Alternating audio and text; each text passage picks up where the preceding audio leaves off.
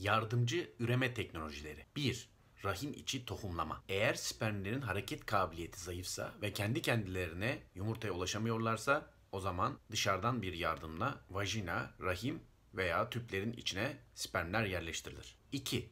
Tüp bebek. Hormon tedavisiyle yumurtlama sağlanır. Yumurtalar toplanır, spermle bir araya getirilerek dölleme yapılır. Döllemeyi başaran yumurtalar eşinizin rahmine yerleştirilir. Rahim duvarına tutunup tutunmayacağına göre beklenme başlar. Plazmatik sperm enjeksiyonu. Sperm doğrudan yumurtanın içine enjekte edilir. Yumurtalar rahime yerleştirilir ve rahim duvarına tutunup tutunmayacağı beklenir. Bu üç yola da genellikle halk arasında tüp bebek deniliyor. Yardımcı üreme teknolojilerini kullanmak kötü bir şey değildir.